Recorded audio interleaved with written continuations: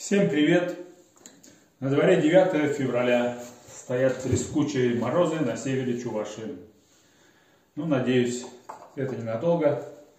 Все равно скоро придет весна. А за ними лето. И вот пока у нас зима, надо приготовить нам рамочки для будущей работы в сезоне. Сейчас я занимаюсь магазинными рамками на 145 для сбора этих рамок сделал себе вот такую установочку на мебельных шариковых направляющих. Долго думал, какой кондуктор выбрать. Ну, пришел к себе выводу, что хочу вот такой, более технологичный, чтобы не работать на коленках. Установлен э, пневмостеблер 40 на 50, фубок 40-50.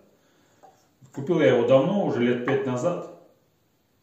Ну, правда, работает что-то он с перебоями, поэтому мне уже не очень нравится. И купил для этого себе матрикс новый. 57-426. Э, Пневматический Неллер 2 в одном. Может и гвоздями стрелять, и скобами. Скобы от 13 до 40 миллиметров длиной. Сейчас я работаю скобами 35 миллиметров. В принципе, меня устраивает. Так он работает.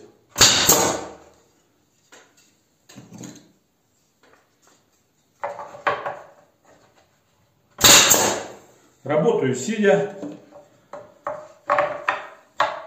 Можно работать, колотить целый день.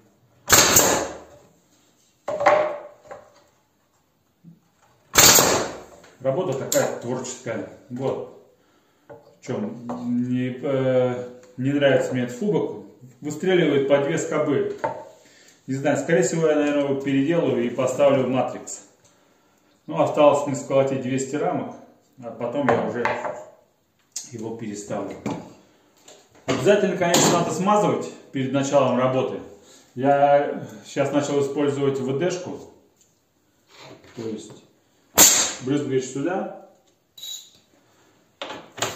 И можно здесь еще. А так используют э, специальное масло для пневмоинструмента. Тоже 2-3 капли капаешь перед началом работы и потом по мере необходимости. Ну, каждый 200-300 рамок. Вот он новенький наш матрикс. Здесь в комплекте уже идет масленка вот такая. Здесь масло. И перед началом работы капаем, начинаем работать. Вот. Как и говорил, главное, чтобы в этих неллерах, чтобы он работал при зажатом спусковом крючке. Сейчас мы попробуем тоже, как он работает. Можно, конечно, люди переделывают в интернете. Ну, Просто так проще, без переделки, без ничего. Сразу ставишь, начинаешь работать. Давайте для интереса посмотрим, будет ли он мне работать. Я его еще вчера купил. Кстати, наличие в магазинах сейчас его почему-то нет. Ни в одном интернет-магазине я его не нашел. Буквально последний забрал в нашем городе, в Чебоксарах. Вот так он заряжается. Сейчас испытаем.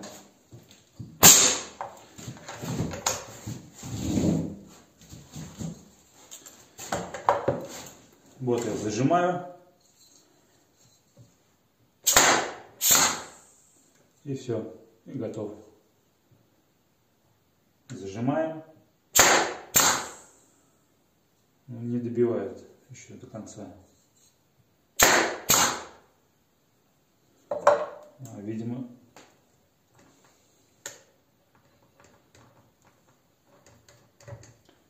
попробуем без этой штучки.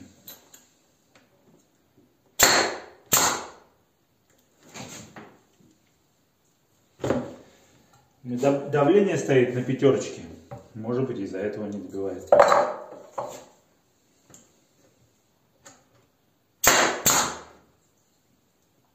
Так заходит. Ну, отрегулируем, посмотрим. Ну, работает гораздо тише, чем кубок. Поэтому, скорее всего, я его переставлю и буду работать с этим, с матрицем.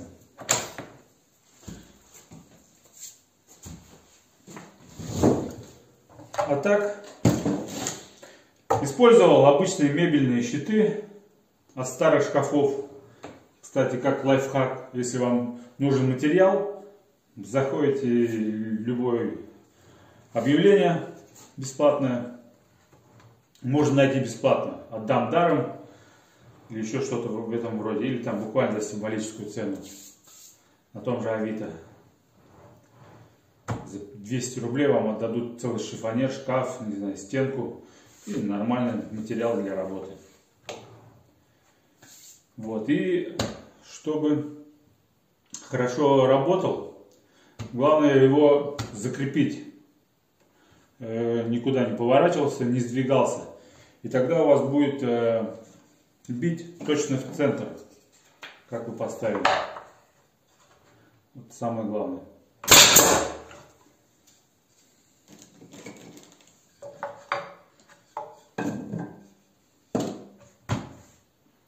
Продолжаем работать, собирать рамочки, готовиться к весне. Всем удачного окончания зимовки.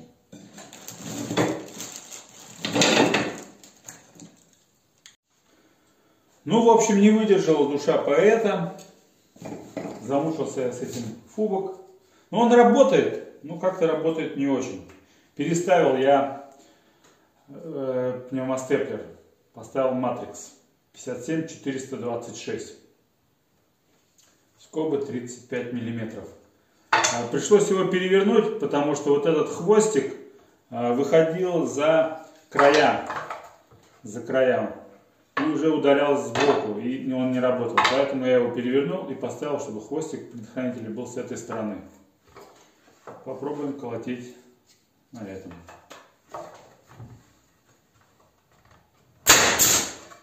Ну, нормально, четко.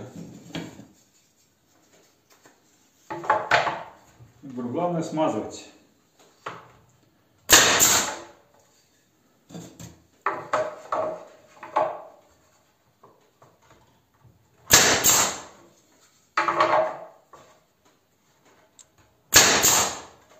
Все. Вот так, продолжаем работать. Матрикс рулит. Ну, еще хотел сказать по скриптум, по скриптум.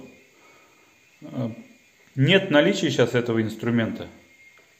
Если кто-то найдет, просьба указать в комментариях, потому что я хочу еще один купить. Э, делать станочек для натяжки проволоки. Вот. Когда найдете, сообщите в комментариях. Потому что на данное время ни в одном интернет-магазине этого матрикса нет.